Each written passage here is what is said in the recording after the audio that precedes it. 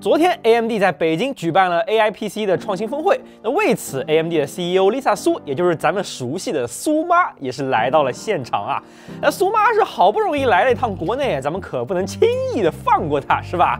于是啊，我们就准备了一次采访，和苏妈简单交流了一番。Nice to see you, Lisa. I'm Fei from Jikowan, and welcome to China. I'm wondering if you can just say hi to our Chinese audience behind the camera here. Hello, 大家好. Wow. Very nice to see you. You know, you actually got a huge fan base here in China. They even came up with this nickname called Suma, which means mom Su. I, I don't know if you heard that before. I have heard that, yes. Yeah. you know, it sounds like a kind lady raising AMD to its mature state or something. Thank you. And personally, I'm a big fan of you and AMD. And as you can see, I actually wear a t-shirt with Ryzen on it. All right, thank you. It looks great. yeah, it's actually designed by our team in-house and you know just to show our love to those great products like Ryzen. That's excellent. Thank you. Yeah. Looks wonderful. Yeah, glad you like it. I can get you some if you will. Yeah, I'll take one. Sure. All right. Anyway, today let's just have a little chat about AI and uh, AMD and other stuff. Okay.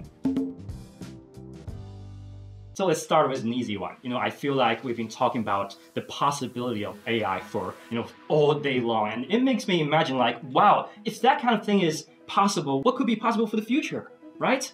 So in your vision, what kind of new application could we expect in the future? And maybe what role will AMD play to make that happen?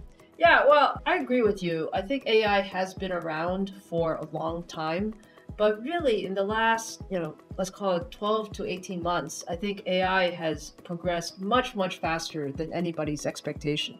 And it's because it's so easy to use uh, everyone can use AI right now with you know ChatGPT or other um, uh, similar type uh, you know functions. So you know what I view is a world where um, everyone, everybody's life is uh, improved by AI. We can all become more productive. We can all become smarter. Uh, we can all have access to uh, you know better technology, and you know this is really enabled by the computing horsepower. So I love that we're in the middle of this AI revolution, and you know we spend um, all of our time and energy thinking about how can we build uh, the next great AI product. So it's all about accessibility, right?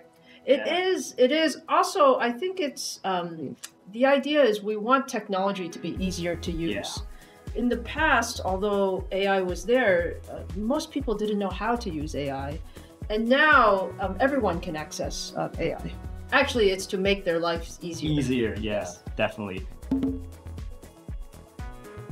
Okay, so the next question is about competition and the, maybe the positioning of AMD. So we see huge competition in today's AI market. Obviously, NVIDIA is a huge competitor, and they also got this well-established ecosystem. They got CUDAs, and a lot of people would just assume maybe they have the upper hand. Uh, but I remember you saying that in the AI market, just because things are going so fast, changing so fast, we don't really have this thing called moat. But if you don't have moat, what can you use as a weapon in the competition? What do you think is the unique strength of AMD compared to other players? Well, the best thing about uh, a new market is uh, it is growing so fast and it is changing so fast. So I view, you know, over the next 10 years, actually we're going to see um, significant changes uh, not every year like every month we'll see uh, significant changes and when you think about you know, you know from amd standpoint you know why am i so excited about our ai opportunity it's because you know our vision is that you have you need AI everywhere. So yes, uh, AI in the cloud is very important, you know, for large language models, for training, and for inference.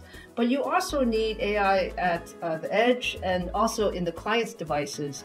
And you know, AMD has all of this technology: CPUs, GPUs, NPUs, and we're integrating them in um, across all of these different use cases. So I think that is our opportunity.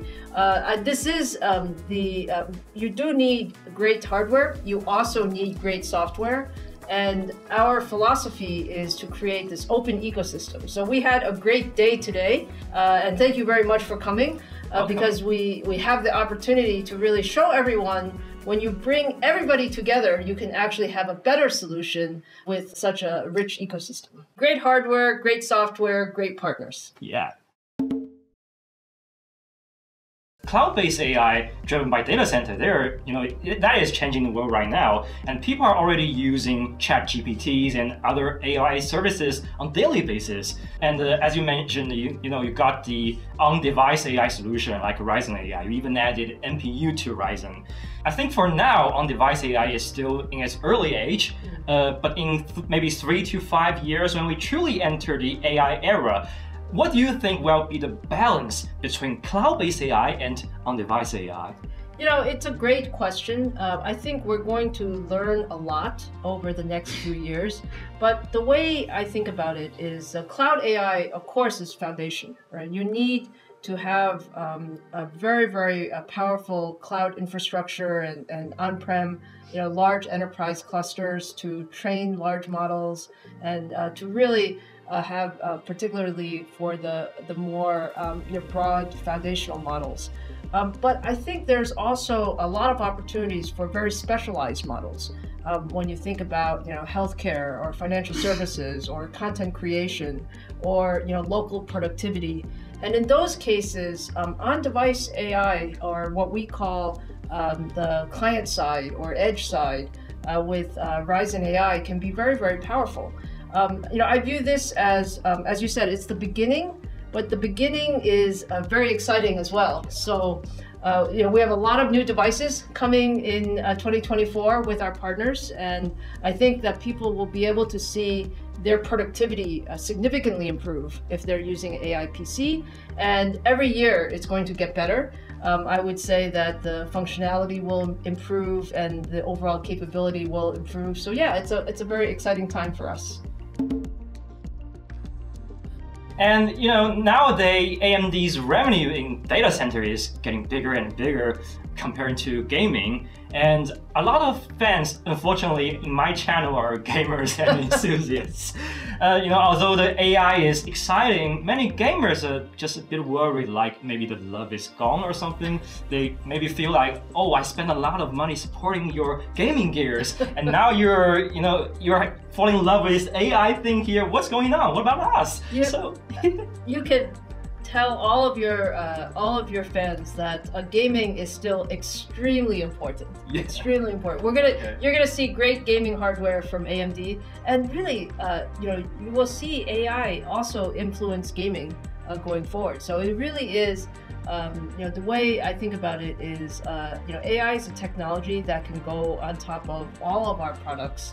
Uh, but of course, we want to keep uh, pushing the envelope for uh, all of the gamers out there on CPUs and GPUs, uh, as well as uh, integrating NPUs when uh, they're helpful. You don't think it's kind of like you know the shift of focus happening, but more like you know the rapid growing on AI can also help those gamers and enthusiasts, right? Absolutely, that's exactly right we got a one last question here. Mm. Okay, so today there's a lot of teenagers and uh, students in China, and they are really interested in chip designing and manufacturing. They dreams of making chips, but they are also wondering like where to get started. Uh, what should I learn to get into the industry? I know you have some serious engineering background and you've been also, you know, pursuing a dream since you were young. Uh, what kind of advice would you give to these young folks and what kind of skills do you think are essential uh, maybe for their hopefully future careers? Well, I'm very, very happy to hear that uh, all the teenagers want to build chips because that's great. And uh, I think this is um, really a great time. You know, when I think about the important skills, it's really uh, for uh, you know those uh, people to really think about um, learning as broad as possible. So you know hardware, software, systems, they all interact with each other, and being able to uh, really see across all of these areas is, is a very positive thing. But yes, we need more people building chips. So um, I'm very happy to hear that. Uh, my major was electrical engineering, and um, you know many people say uh, what is uh, more important, uh, hardware or software? I think my advice is both are important. And also, what's very important is a practical experience. So, I like the fact that a lot of people build their own PCs. That's a, one example of practical experience. I think as uh, you go forward, the opportunity to learn how to build great products is uh, really the most fun part of uh, engineering. Thank you, Lisa, for today, and you know, glad to have you here. Wish you a good trip in China. And ladies and gentlemen, Lisa Su from AMD. Thank you so much.